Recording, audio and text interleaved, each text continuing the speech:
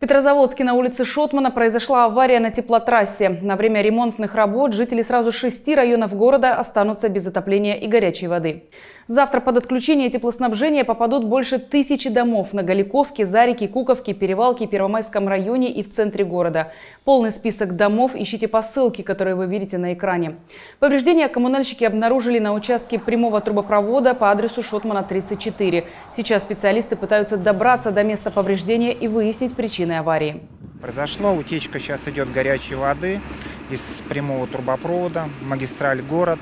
А, нашли мы место повреждения. Чтобы добраться побольше, нам необходимо сейчас откачать воду. А, персонал поехал за помпой и вакуумной машиной для откачки воды, воды.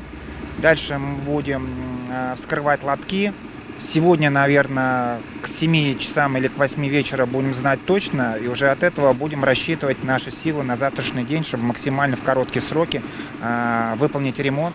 К ликвидации аварии приступят завтра в 6 утра. Горячую воду и теплоснабжение в домах начнут отключать с 12 часов. Устранить повреждения на теплотрассе обещают к вечеру четверга. После этого тепло вернется в дома петрозаводчан. Петрозаводская ТЭЦ сообщили, что все работы должны занять не более суток. Такой срок позволит исключить перемерзание трубопровода.